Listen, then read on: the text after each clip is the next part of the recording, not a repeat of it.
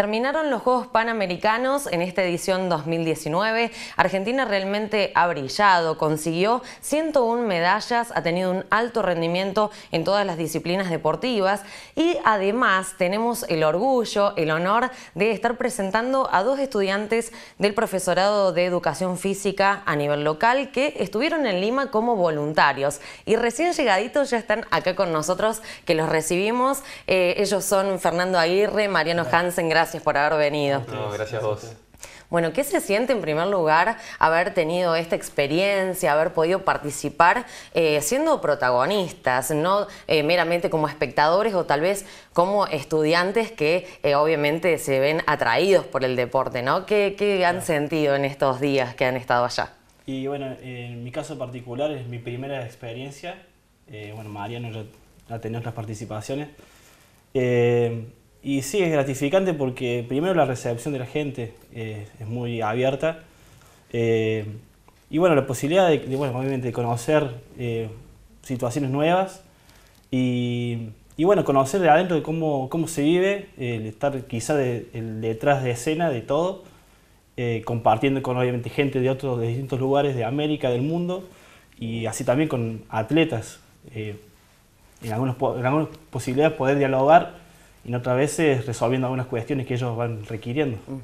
¿Cuáles son las tareas específicas que hacen como voluntarios? Eh, eso depende, tenés o sea, variedad de tareas de todo tipo, creo que vos tuviste en una diferente que yo, estuve en lo que fue el área de atención al público, eh, manejándome en lo que era la sede de Videna, donde estaba el natatorio, ahí pasé por clavado, nado sincronizado y por último natación, que básicamente atención al público se veía como la cara de los Juegos Panamericanos, o sea, cualquier problema, cosas buenas, cosas malas, van a vos, eh, vos te organizás de la gente, de la tribuna, de todo lo que pase fuera de lo que sería el deporte. ¿Y qué otras experiencias tuviste y cómo se diferencian con esta de Lima? Y yo estuve trabajando el año pasado en los Juegos Olímpicos de la Juventud en Buenos Aires, también el área de atención al público, pero lo que era el área de eh, beach volley y tenis. Eh, creo que fue en Argentina que eso fue algo diferente y especial para nosotros. Y algo a destacar que era, o sea, por primera vez en la historia en los Juegos Olímpicos de, de Buenos Aires fueron gratis. Entonces, eso significaba que había gente que iba y no tenía lugar. Entonces, como la parte de atención al público estaba un poco más complicada, pero excelente. La verdad que en Buenos Aires salió excelente y en Lima también estuvo muy bueno. ¿Cómo viste la organización de, Lima?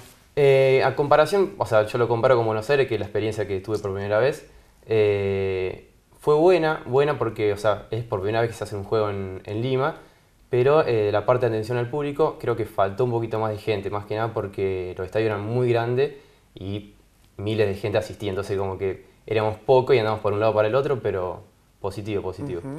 ¿Vos, Fer, qué tareas estuviste cumpliendo? Eh, a mí me tocó, por ejemplo, en el, en el área de operaciones deportivas, en la Escuela Militar de Chorrillos, en lo que es el Coliseo Mariscal Cáceres, eh, trabajando para levantamiento de pesas y para físico-culturismo, sobre el cierre ya de las actividades. Eh, así que, por momentos, como decía Mariano, hay momentos en que son un poquito más tensos porque en nuestro caso, que vamos eh, como colaboradores desde el exterior, eh, hay ciertas instancias de capacitación que no tenemos acceso y que a las personas que son de, propias del Perú y más de Lima eh, están un poco más cerca de esas cuestiones. Y a nosotros, como no tenemos esas posibilidades, vamos como quizá un poco a, improvisar algunas cuestiones, salvo con algunas directivas que no dan en el momento y que a veces esas directivas pueden ser un poco confusas y parte de esa organización tiene que ver un poco con la comunicación. Entonces, eh, pero en líneas generales eh, es positivo. ¿Y recomendarían esta experiencia para otros estudiantes, imagino, porque es como complementar todos los conocimientos que adquieren en la carrera en un mismo lugar y con todas las disciplinas eh, en simultáneo, ¿no? que tienen la experiencia tal vez de ver otros deportes que no ven en el día a día acá en, en Argentina? Sí, no, yo creo que sí. O sea, algo que une al voluntario en los juegos es más que nada el gusto por el deporte.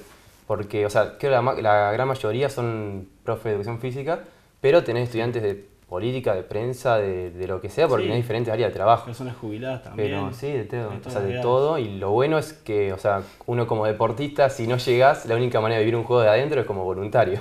Muy bueno. Pero sí, sí, o sea, es increíble que, que estos juegos así que sin voluntario no, no funcionan realmente. Aparte, la actividad del voluntario es eso, justamente es eh, brindar ese tiempo que tiene uno y predisponerse de la mejor manera ante esas adversidades que pueden llegar a presentarse para aportar un granito de arena. Más cuando vamos desde nuestra parte, de nuestro lugar, que nos significa dejar de lado quizás los tiempos de estudio, nuestro tiempo de trabajo, el dinero que hay que invertir para el viaje, para la estadía. y todo esto también no solamente es una parte que ponemos nosotros, sino la gente que está detrás, familia, amigos, eh, profesores, la gente que, con la que trabajamos y nos eh, quizás nos brindan una, un apoyo para que nosotros podamos acceder a estas, estas, posibilidades.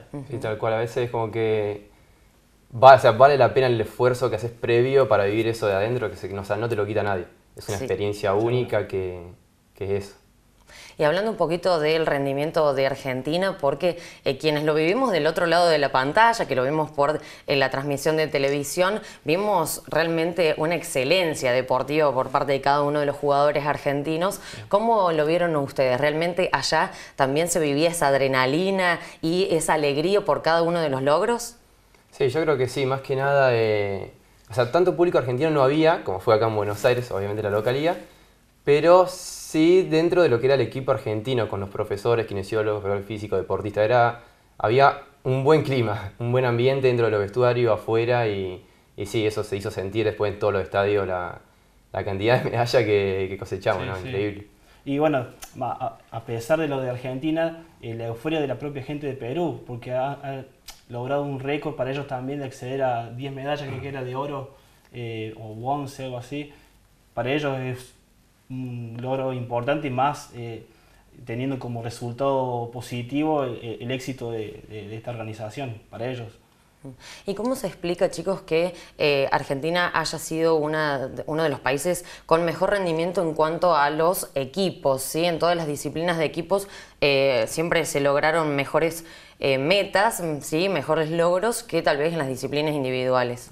No, creo que Argentina siempre fue fuerte en lo que es deporte en equipos y se viene demostrando a lo largo de los años y más van en los panamericanos las dos selecciones de hockey, básquet, y fútbol.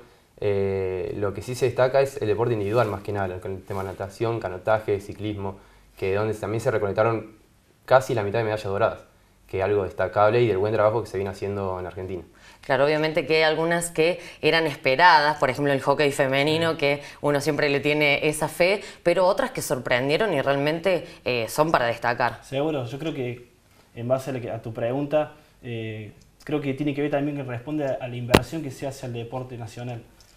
Se resalta aquellos deportes donde les significa un reto importante y se relega a otros deportistas que donde tienen que hacer todo a pulmón eh, y obviamente dejando de lado la familia, el trabajo, no dejando de lado el trabajo, pero sí eh, poniendo un plus para poder acceder a estas, a estas posibilidades y bueno, si con una medalla mejor, pero si no hay una inversión que, que sostenga eso, es como que se le hace más complicado. Y bueno, hoy por suerte hubo un progreso, pero bueno, esperemos que, que se vea esa inversión, porque por ahí el, progreso viene más por eh, lo, que pone uno, más que por lo que recibe del, Estado, que creo que está un poco ausente en ese sentido. Claro, faltan algunas políticas públicas que realmente respalden a los deportistas. La familia está muy detrás del deportista, continuamente, con casi todo.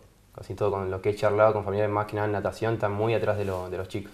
Claro, pero tiene que trascender lo que es, como vos lo decías, Fernando, el esfuerzo individual eh, de cada uno de los deportistas, el esfuerzo de la familia, sino que realmente nos están representando, es una delegación que representa el país y eso amerita que el Estado sea consciente de la identificación que tenemos y así lo respalde, ¿no? Sí, que encima todo eso es medible con, las medallas.